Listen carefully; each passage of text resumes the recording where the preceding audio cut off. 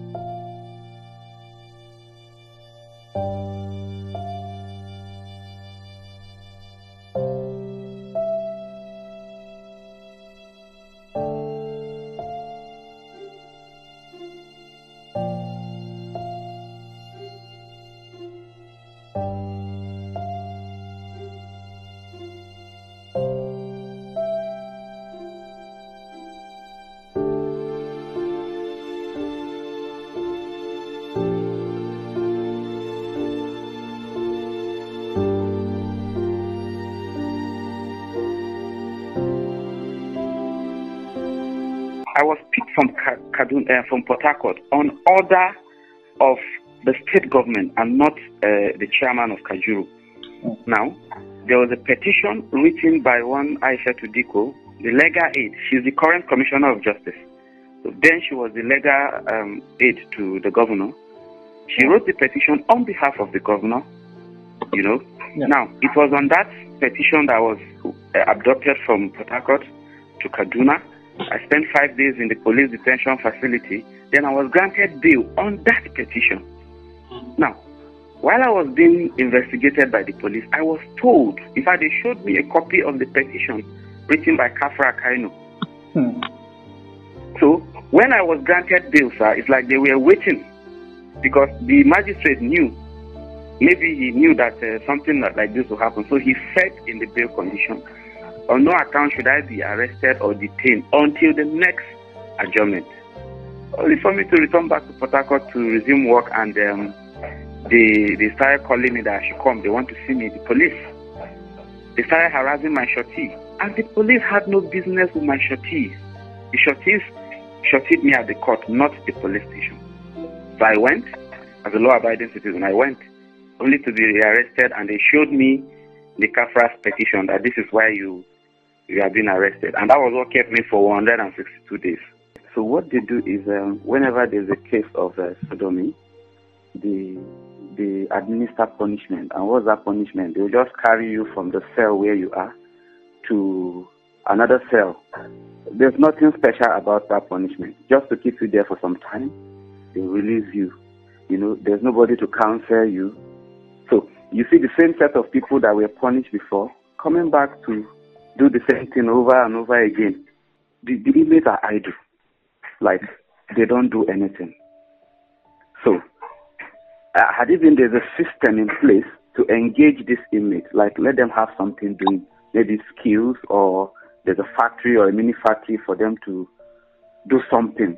Of course, they won't have time to be doing this, um, this, these things they're doing. But because there's nothing, so you wake up in the morning, sometimes they open you, you go out and walk around the premises. That's all.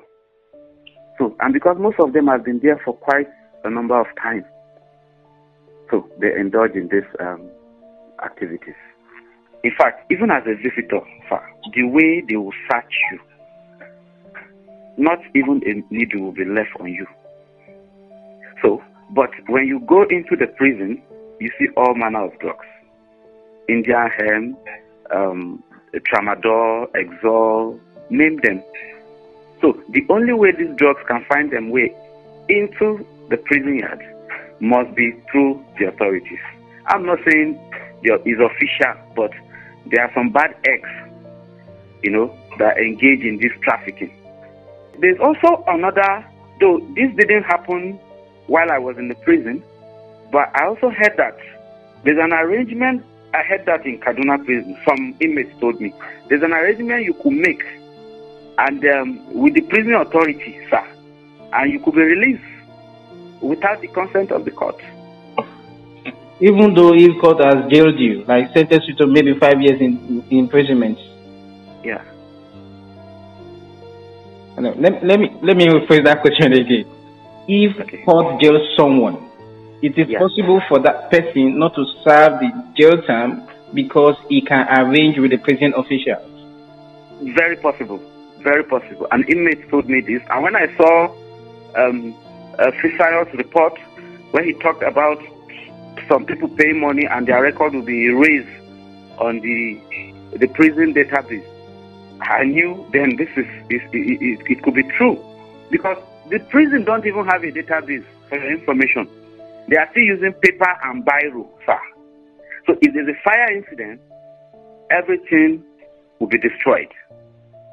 The major problem is that there's a disconnect between the top hierarchy of the prison service and the various um, prison or custodial centers, they call it now. Because there's no check and balance. sir. Nobody comes from Abuja to Kaduna, for instance, to check what is happening. At least I stayed there for 162 days. I never saw the Controller General coming. I never saw any top official from Abuja coming. Even the state controller who controls the prison in Kaduna State, I, I don't know, maybe, I think there was a day he came, I, I'm- I was, uh, I'm aware, but I don't think he visited more than five times for in 162 days. Mind you, his job is to check the prisons within the state. So, it now gives the officers room to do whatever they want to do because nobody is checking. Then, the Ministry of Interior has to do more because let's talk about feeding. We didn't talk much about it. what I saw them giving the prisoners, sir, like they are waiting trial persons, which constitute about uh, 55% of the total uh, population in Kaduna, because the, the capacity is 547, the standard, the maximum capacity. But as at the day I left, we had 1,470 something inmates. So that's almost that's almost double or triple the, almost the number. triple. Yes, the number, yes. You get. Now, the food I saw them giving this prisoner, sir. A prisoner doesn't feed on more than 95 naira per day. I'm Based on your sure, ba- ba- based on your estimation, based on what I saw. based on what you saw. But the Sometimes- the, the Nigerian government said the the prisoners spent over well over that thousands of naira Yes. on each prisoner. Yes, in fact, um, when I saw um, the 2018 budget Yes. and I saw the defense of the Controller General. Now uh, they said we had about 75,000 inmates across the country, Yes. and 17 billion or so was budgeted for feeding. If you do the mathematics, each prisoner should be fed with about 500 and something naira daily. Mhm. You get? Yes. But what I saw, in fact, 95 naira is too much because the food is so small and poorly cooked. For the first time in my life, I saw where they cook soup. You know, they just carry water, pour inside bucket, pour small red oil, pour okra or leaf or something. No maggi, no pepper. It's not even cooked. They go and give people to eat. Human beings Mm. human beings. So it's so bad.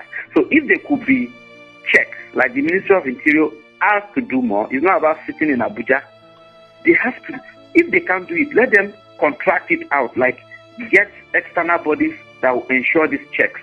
Because you and I know you can't even visit the prison to check some of these things. Sir. So you can only get information for who has been in the system and how many prisoners are ready to tell you what happened there. You get? So it's a place where you can't even know the corruption happening. Except you you you you enter there and see for yourself.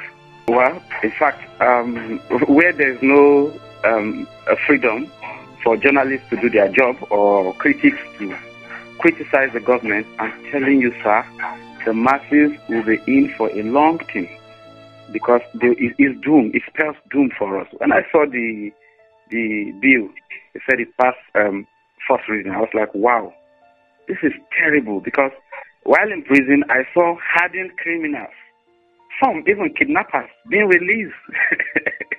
you know, so and um, uh, hate speech um, makers will now stand the chance of um, being executed. So it doesn't make sense. It means the aim here is not to curb hate speech. No, it's just to put fear on people so that you don't talk again. Because how do you even define hate speech? They are the one that will define it for us, not us. They are the one that will sit down and say, okay, this is hate speech. And look at the antecedent of the people we have in power. Their utterances are terrible. You get so the whole thing. There's no sincerity in it, and um, I'm against that bill. That bill is evil.